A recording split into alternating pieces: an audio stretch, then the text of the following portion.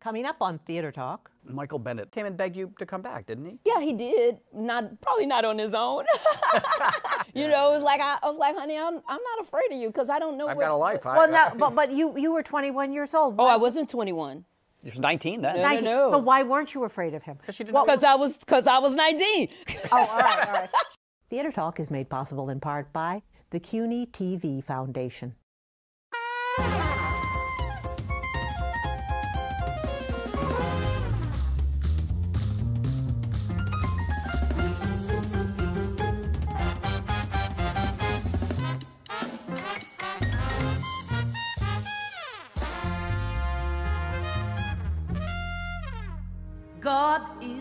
Flowers and everything else that was or ever will be. And when you feel the truth so real, and when you love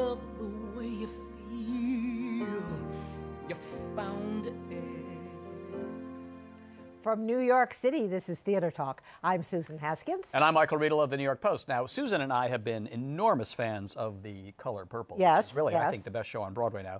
As good as it is, it's gotten even better with the addition of a true Broadway legend. Jennifer Holliday has joined the cast. Welcome back to Broadway. Thank you. Thank Welcome you to so Theater much. Talk. Thank yes, you. Tony winner. And can we only say Holliday. that it is, I think, the greatest Tony Award moment Yes. when she sings "And I'm Telling You, I'm Not Going." It's like eight million views on YouTube. Thank you. Yeah, I know that it was listed. um, It always makes the list every year of, of the top 20 best moments. Do you ever go back and watch it yourself? I don't.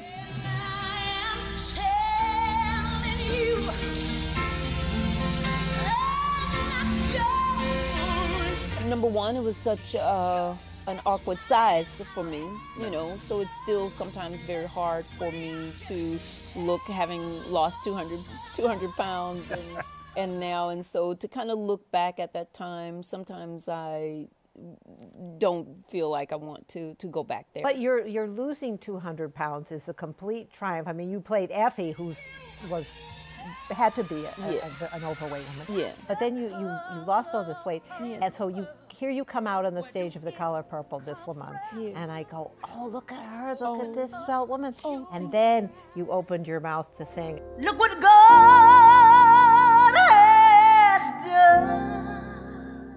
And, And I then you remember. "Ah." which is what happens. Which is what happens because a lot of people still not used to me being this size, and Right. I've been this size for 20 years Yeah, now. you have- yeah, it's- But um, thank God that my voice did not change. Did you ever worry about that when you were uh, I did. losing the weight and fighting the? I the did weight? because so many people who uh, lost weight did uh, not lose their voice, but just in terms of the power Yeah, yeah. of the voice. So I did. So what I did was uh, I used to uh, do aerobics and exercise and Hmm. sing.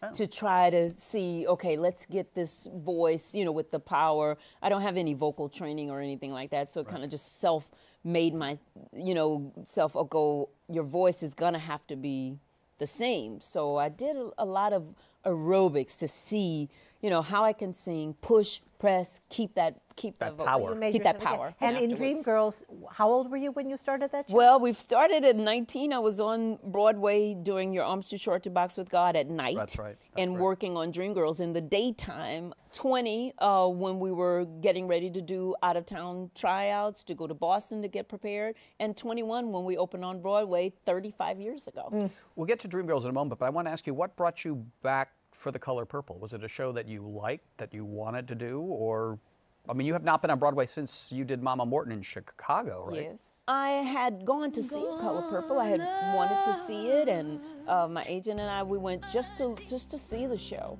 Then it was maybe um, six weeks later, maybe that uh, got the call from my agent saying that the casting director wanted to know if I would be interested in auditioning for John Doyle for Shug Avery. Avery. And I kind of thought about it at first, and then I kind of smiled and I said, "Hell yeah, I'm coming." To New York. He was like, "You're not offended? No, I ain't offended. I'm coming. I'm coming.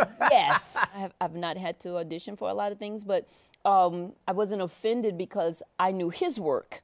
I had seen the show and I thought uh, it was an integrous enough piece, um, and it would be rewarding enough for me just to just to come to meet him because and, and to learn how to audition. I guess I don't know.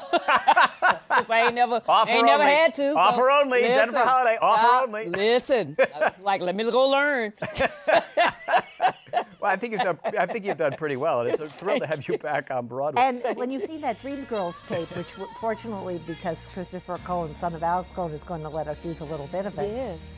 I do have to say that even in that short span, you certainly see acting Well, but right that's there. but that's a big though. Yes, you it's a know big that's a big projection. And then when you think about it too, you know, um, even though that was on television, I still played it to the theater. Yeah, no, you were in the because theater. that's how uh, you know I played it everywhere. So I think that I I think that he wasn't trying to insult me by telling you know well she'll have to come and audition for me. I think he was just saying I don't know her body of work as an actress, Right. and my style is different. Yeah. Yeah. And I must say that the month that I spent with him was like a master acting class. Really? And I'm so grateful to him for never leaving me. I mean, from the very first rehearsal that I had, uh, he continued on. He's a busy man. We worked some nights to 9:30 at night. Really? Um, yes, because he had uh, some other projects he's working on. Mm-hmm. He would come on in, and we would continue working. So I'm very grateful for the generosity of the, the time that he gave me to help me shape this shug to be one that would be my very own. That's your own, yeah. That I could that I could do, and to to bring a level of acting. Uh, to me, that could match Cynthia's, you know, to go to Mm-hmm. where she is. Now, of course, you worked with another great director, uh, Michael Bennett. Yes. Dreamgirls. Can you take us back to the time when you first met Michael, and what was Michael Bennett like the first time you come into his orbit? I actually had never heard of Michael Bennett because I came straight from Houston, Texas, singing in the Baptist church choir, discovered by this young man named Jamie Patterson, a, a dancer, and went to the Broadway stage. So I was already on Broadway Yeah, Your doing Your Arms Too Short to Box with God at the Ambassador Theater. And uh, they had told him about me because they were already in workshop on Dreamgirls. It wasn't called Dreamgirls then. They didn't even have anywhere close to the title at that point. And so they had already told him. He came, snuck in to, to see me, uh, hear my one song. Then I had a one big song then. Right, right. So myself and Cleavon Derricks. Uh, so one night I do get to meet him on the street. He's got his Baseball signature cap? baseball cap, little tight jeans, little things, sneakers, dirty sneakers, you know. Wiry. Yeah, not not so wiry at this particular point. And uh, he said, you know, he said you're very good. He said, and I think that they that they really like you. And he said, and I think it's just going to be up to you because you would have to be here every morning and do the show at night At 890 Broadway, at where he 890 was Broadway at 10 a.m. if you want to do it. He said, I think you're, you know, I think you're great. You and Cleavon are both both great, and you would add something to the production. Now he was not director then.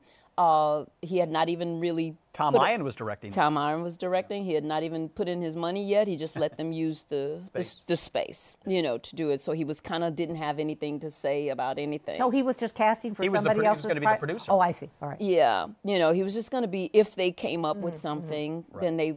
But no one had thrown their money in at that particular time. Do you remember when he moved in and took the? Oh, I oh I remember. Oh, tell us. like yesterday. Oh, tell us. When did, I when- remember like yesterday. When, did he move in? What happened? well, I don't know. I think he took everybody by surprise uh, once the show had started to come together. Uh, the difference with Tom Eyen and then they. The workshop was very long. It was about a four-hour production. Uh, Effie was a maid. She was a nurse. It was a whole. It, it was a long thing. She sang background for a white lady. It was. It was like a whole long show.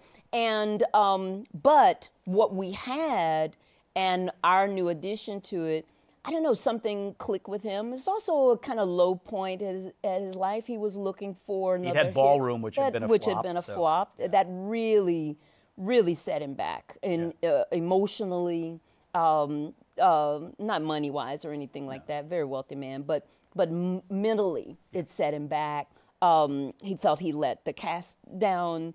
Um, you know, so just a lot of things was going through his mind, and I don't know, this the show lifted him. The the music, not so much of the the story or anything, but just the music, the hours spent there, and he he decided that he was going to take over. He also decided that I was going to be the star of the show because originally um, it was really going to be Sheryl Lee Ralph's vehicle. That's right. Yeah. That's right. It's really going to be her vehicle.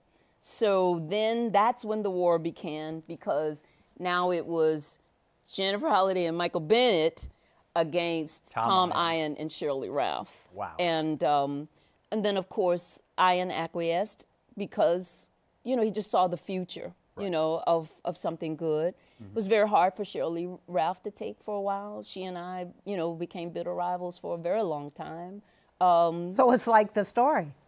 Oh yeah, yeah, for Yeah. a very long time, Yeah. and um, a lot of it they also encouraged Yeah. because it worked for Yeah. you know for the show as well. Who was encouraging them? Michael. uh, the producers, you know, because of the fact that it you know it lent itself to the story. So they were manipulating you in that way. I think that they, I think that they did. I think that they didn't set out to do it, but I, I think they saw, let's use this. It well, works. Michael would have seen that. I mean, if he's Well, not a right away. Not right away because there were so many other factors that they had to, you know, pulled together for him to just take over. You know, and then it all began in terms of how do we move forward.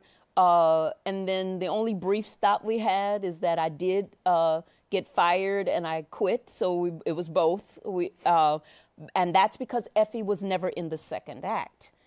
Effie was only in the first act and we only had the one song and i'm telling you which was written after i came on board as your book For you. yes for me and but it was only written for the first act so effie was supposed to have gone off and To done go. drugs Yeah. Yeah. and that was supposed to be an it Yeah. uh, not to return uh, again and my thing was that me being a younger f- girl from Texas, I was like, I would not be able to explain my mother why my character had to go off and be a drug addict. I said, we're just not gonna. I'm from Texas, uh, down south. We're not gonna understand why you couldn't pull your life together, or why people didn't care or love them enough to pull their. But now, did to- Florence Ballard, the woman on whom your character was based, did I didn't know anything about Florence. I don't think she pulled herself together. Well, I don't know anything about I think she died of alcoholism. I barely knew anything about the Supremes either. So so maybe you know Probably that it all well. worked out just Yeah. as well that I did complain about it. I But then, but Michael came and begged you to come back, didn't he? yeah, he did. Not probably not on his own. probably not on his own, you know, because you know he has a sense of pride. But again, I I think that that threw him as well. That I really didn't know who he was, and it wasn't important to me that he was a famous director or something or the king of Broadway and everybody was afraid of him. I wasn't afraid of him. I didn't even know him. So it was I think that that also intrigued him in the sense that why isn't she afraid of me? Yeah. Why isn't she I'm saying boo. Why isn't she running? You know, it was like I, I was like, honey, I'm I'm not afraid of you because I don't know I've what, got a life. I, Well, now, I- but, but you, you were 21 years old. Oh, Why- I wasn't 21. You was 19 then. No, no, 19. no. So why weren't you afraid of him? Because she didn't What know- Because I was because I was 19. Oh, all right, all right. She didn't know. when you when you're grown, you get scared. now, see, if I had been if I had been 30 25 or you yeah, been- yeah. 25 or 31, I would have been said, yes, sir, Mr. Mr. Michael, whatever you want. You know, Like everybody else around yeah, him what- was like saying. everybody else would have said. But at, at you're young, who's who's what do you know? Do you remember when Henry? Because I think he told me when he wrote "And I'm Telling You I'm Not Going." Henry it Krieger, was right. During it was during the rehearsal. Do you remember when he came to you with the I song? I do. And what was your? What did you make of that song? Well, I thought we were just just like your book said. What do we do with this title? They had the title, Right. It was an awkward title. an awkward title. yeah. So, how do we get that to be sung? And he did come up with like a, a good melody line for that. So, how do we get to that melody line? Mm-hmm. So, you don't really have like a chorus. That's the great thing about Broadway. You don't need a chorus. It doesn't need to rhyme. Right. It doesn't need to do. So, that's you're telling a story. Right. And so, where do you want to give away with this story? So, my thing with uh, Bennett, I was young, so I really hadn't had any love affairs or anything, so I couldn't really know any point. But I do know that when my father left my mother, one, my mother didn't want a divorce. And she said, Well, I, I, I begged him to stay, but he wanted to go. And that never forgotten. So that's where the whole staying, staying came from, you know. And Tom Eyen would be good. Tom can think of the story that he wants to tell, not like a melody line, but he can go, he said, well, Jennifer should go, ah, ah, ah, ah, up here, ah, ah, ah, ah, something. He would go like this, ah, ah, ah, ah, tear, tear down the mountains. Can she do something here? He wouldn't know a melody line, Right. but he would know, let's go here. Henry would be very good and say, okay, what about this? You know, and up there. So a lot of it, that was the beauty about back in the day of creating something right there in the moment. Yeah. And you get that. And the, fortunately, I had the vocal kind of To go with them. to go with wherever they were where they were soaring. Now the me holding that note in the middle.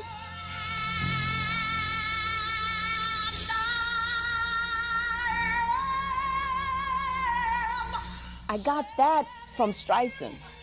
And the reason why I got that is because Michael, because I didn't know how to act in terms of singing uh, a story.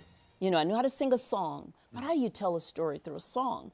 So he would have me watch all of these Barbra Streisand old movies, um, you know, Funny Girl, all of these kind of things to learn coordination of eyes, song, you know, lyric, everything like that.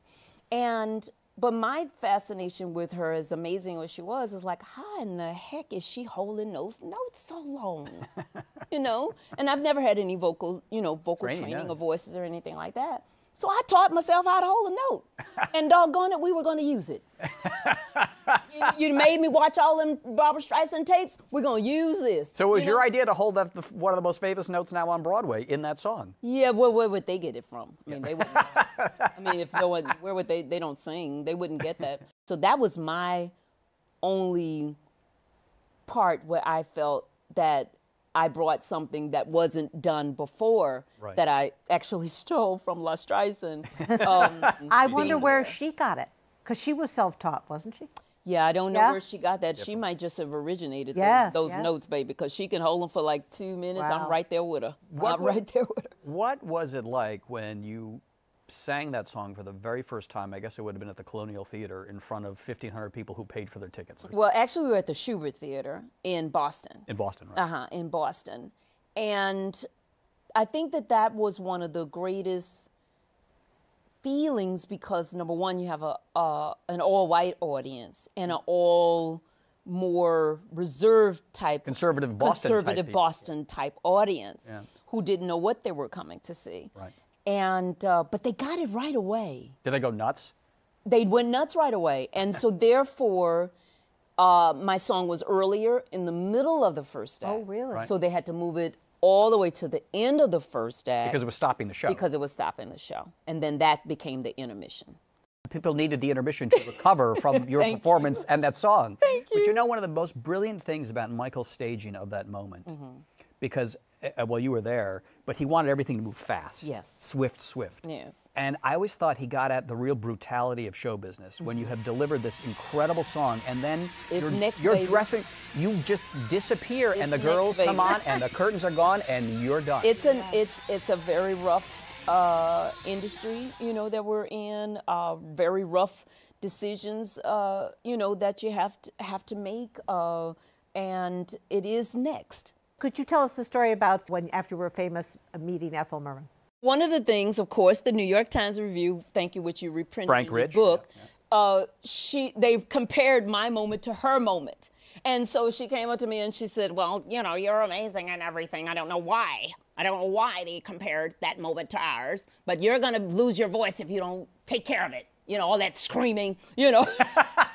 okay. you, know, you know, but I understood the the one moment of maybe it's a little bit of a jealous of okay being compared, but maybe it's a little bit of a warning Yeah. and saying if you you need to gonna find a way to not have vocal problems creating that moment Yeah. all of the time. So I didn't get offended by it at all. I, I took it, you know, I took it to heart. I laughed. It was crazy. I was like, okay, this is really crazy. She just told me off, you know.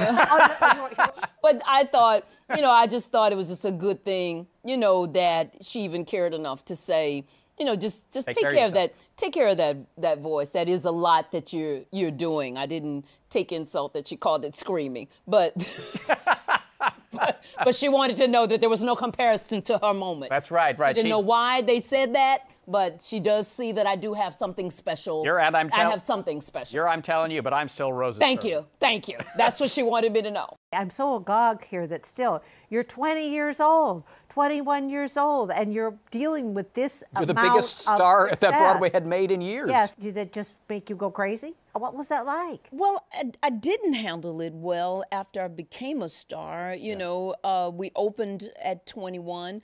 Uh, by the time I was 22, of course, I had a Tony and Yeah. a Grammy Award by the time 23. Uh, but it did take its toll on me mentally. I became uh, suffered with clinical depression many years. Um, my weight kept climbing. I climbed almost to 400 pounds. Wow. Uh, you know, 340 pounds, and um, so it did take its toll on me. As a young girl at that time, I don't think that they knew about much about depression Yeah. Uh, in the early 80s. So maybe I could have felt even better earlier had someone known. But they, Or, or dealing with compulsive overeating. yeah, all of those things. Yeah. But they thought maybe I was just, you know, being an artist and temperamental and Oh, yeah, these there were are- all the these- rumors and yeah, the and these are the things that yeah. go with The it. diva. You're playing the diva. You become the diva. Right, and these are the things that go with that. I had no idea that I actually had a problem. You were you were close to Michael. Were you in touch with him when he was dying of AIDS out in Arizona? Yes. Did you ever visit him? I did not visit. He would not He wouldn't let allow. peop- yeah. Yes, because of you know uh, of the structure of of his uh, What he body like, and yeah. what he looked like. He was already self conscious about his looks before he had those moles on Yeah, his face yeah. that he was born with. So he was always very conscious about the way he looked and how it bothered him. So those last years, you know, as he began to to dwindle away, no. But those years prior to you know, uh, our our relationship and our friendship uh, was one. Uh, I guess they call it Svengali. Yeah. sorts Yeah, yeah, of. totally. You know, and I know, and I, I, you know, and I read your book, and beside that harsh note that, you know, that Henry said about, you know, how could he love a an overweight black girl? Um, you know, we love who we love, Mm. and it doesn't always have to be sexual or it doesn't even have to be um, uh, even fur- further in love in terms of definition. But he did love me and I loved him as he did love his other leading ladies as Yeah, well. yeah. Uh, you know, and he did marry them as well. He With- did, you know, Donna. in spite of his, him being, Being gay, gay, he yeah. did have girlfriends. He loved life Mm. and he loved what people brought to it, even though his own life so tormented, you know, with the with the drugs and his his own issues of of everything that he felt going into every piece, you know, and uh, being misunderstood often, uh, but yet wanting to be misunderstood, if you can understand that, meaning that his complication worked for him. Worked for him, yeah. It kept people here. Interesting. You But you spoke to him on the phone when he was dying? Oh yeah, yeah. It's it's. I think that before he started to lose everything, he just wanted to reach out and say, you know, that he loved people, and I think that that was. You know, I think that that was one of the great things that people did not know about him. That he did have a lot of heart. Not excusing any of his, of his sad self-destruction And the, the addiction. and the addiction of drugs and alcohol, his his self-destruction. So, you know, but the heart of it he would at least try. You know, he would at least try to have some uh, showing of warmth and the way he did take me where the regardless and I and not only your book and I read other people's book and they did see it as him, you know, manipulating me or using me or whatever, but he never once abused me. Uh, I have lots of jewelry from Van Cleef and Arpels, Cartier, and Tiffany's. So his love shines, baby. So whatever you want to call it, see me at the jewelry store. That's all I got to say. You know, You're fabulous. I love you. I love you. I love Bravo. So you. you can't. You gotta see. uh, Broadway is better than ever because Jennifer Holliday's back on Broadway. sacrificing herself. in the color purple, working with the great director John Doyle. I don't know if he's buying you any jewelry, No, but if he's he not watches buying me. this, No, it's a no, tip, no, John. he's a simple man. I'm quite sure Yeah, yeah, he will not be buying me. Maybe a chair. Maybe a chair. Maybe a chair. All right, don't miss Jennifer Holliday as Shug Avery in The Color Purple. At what theater are you at? The uh, At the Jacobs. At the Isn't that, Jacobs. a, isn't that amazing? Across from the Imperial. Oh, my God. And at the Jacobs. So Bernie was- Jacobs, who was the producer of Dreamgirls. and a daddy to both of us, to Michael and to me as well. Yeah. To where he taught me and say, young lady, you're gonna have to get used to because I really didn't know how to cope, Yeah. you know, with being famous overnight. And he really took me aside. And, you know, he didn't try to fire me or anything. He was just saying, you're gonna have to really Got to pull it together. pull yourself together. Yeah. Pull yourself together. The Color Purple, you've got. And by the way, you know the poster for Dreamgirls was purple. Yes, you're Back. I'm back. I'm back. Jennifer Holliday, it's been a delight having you on Theater Thank Talk. you so A much delight. both for having me. Thank you, thank Thank you. like a blade of corn, like a honey bee, like a waterfall, a part of me, like the color purple. Where do it come from? Open up your eyes. Look what God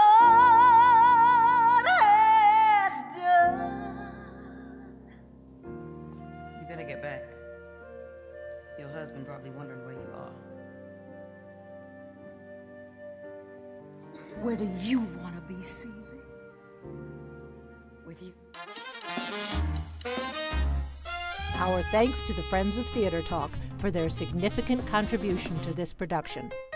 Theater Talk is made possible in part by the Frederick Loewe Foundation, the Corey and Bob Dinelli Charitable Fund, the Noel Coward Foundation, Carrie J. Fries, the Dorothy Strelsin Foundation, and the New York City Department of Cultural Affairs. We welcome your questions or comments for Theater Talk. Thank you